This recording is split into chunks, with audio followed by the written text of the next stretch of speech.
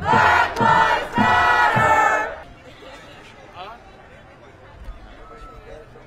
I've only seen them uh, work uh, through video streams and whatnot, but this is pretty powerful. So if anything's gonna work, it's probably gonna be this one. Are you gonna use it tonight? Oh yeah, You're gonna brave it? that's why I'm here. Aren't you scared? Yes, What if you're scared? Why are you coming out? because this is the right thing to do.